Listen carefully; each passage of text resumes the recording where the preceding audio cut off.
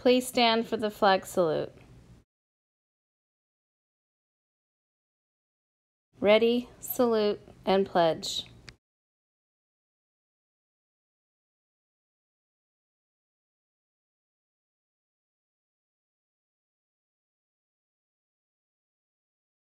Reminder, turn in your orange making the grade shirts or you will be put on debt list. Congratulations to the following students that have qualified to participate in the Valley Track Meet on May 4th. Catalina Castillo, long jump. Noemi Linares, 800 meters. Girls 4x4, Evelina Castillo, Noemi Linares, Haley Price, and Destiny Matadamas. Boys 4x400, Adrian Rojas, Jose Mendez, Francisco Garcia, and David Perra. All incoming freshman boys that are interested in trying out for soccer next year, there will be a meeting on Monday, May 6th at 5 p.m. in CHS Gym.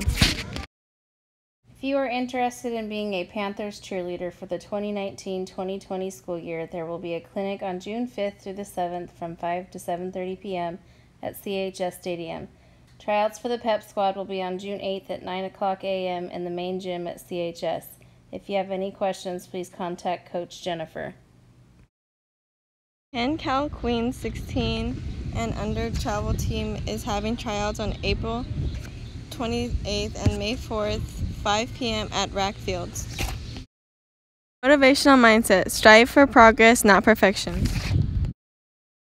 Baseball and softball games for this week. JV play on Friday, April 26th here at John Muir with athletes being released at 3. Varsity plays on Monday, April 29th at Pioneer. Athletes will release at 2 and bus will leave at 2.15. This Friday's No Collar Dress Up Day is dressed like your favorite teacher. The Wildcat of the Week is Amelia Escalante, chosen by Mr. Wakefield. Amelia never gives up. She is a determined young lady. She takes her academics seriously. She strives to be the best. Congratulations, Amelia. Breakfast and lunch menu breakfast, mini chocolate donuts, lunch, pizza by the slice, salad bar, and fresh assorted fruit.